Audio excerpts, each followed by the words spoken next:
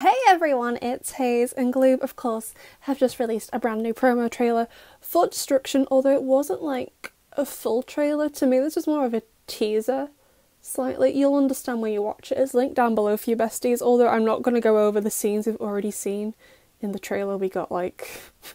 feels like 10 minutes ago, was several hours ago at this point, but because I'm so stressed about it and I'm still very confused feels like it's only like 20 minutes to go maximum. So the trailer starts with Adrien going to confront his dear father, who is actually doing work for once. And weirdly, even though Gabriel Babes is French, his entire computer interface is in English. Maybe he's just learning. I've heard that's a very good way to learn by changing your computer interface or any other things like technology wise you use a lot in different language, but no one no one cares about that.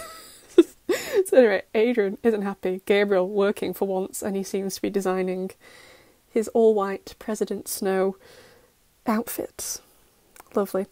Um, Adrien isn't very happy with his dad. His dad doesn't seem to care, but who's surprised? Not me. But Adrien is though. He's like, oh, I can't believe you just said that to me. Why? Why would you do that? But at one point in this argument, he does look a bit like the grumpy cat. So there's more into the trailer that we've already seen, like Monarchs in Marinette's room. Still don't know why the bloke's in there, other than he is creepy. However, we get a better look at the machinery that I would assume is in the letter, and we can quite clearly see, since it's more zoomed out than what we got in the other trailer earlier, at the top we can see the Saragi logo, Sarugi logo, Kagami's mum, that company. Never sure how to say the last name. I don't speak Japanese. but we can clearly see the logo. So she's definitely helping him, which we kind of already knew, but wow, this is like a big piece of machinery. The only way they could have got it up here was with the Horse Miraculous, no way.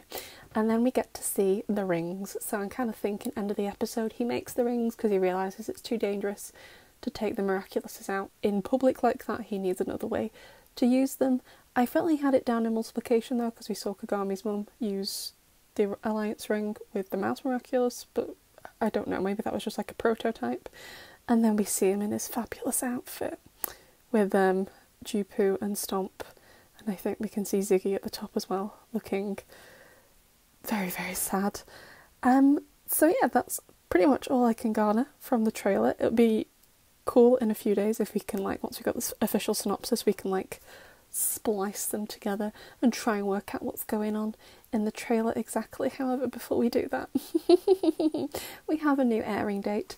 So, um, next Monday, Gloob were just went to air multiplication, but they were like, you know what, you know what?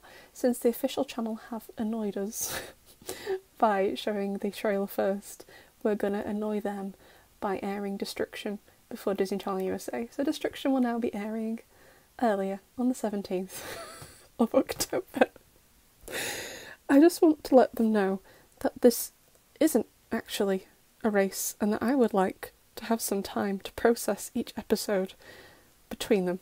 You know what I mean? At least two days. Give me two days in between, not a matter of hours, for God's sake. but anyway, besties, I'd love to know what you think of this little teaser for Destruction, and I will see you in the next one.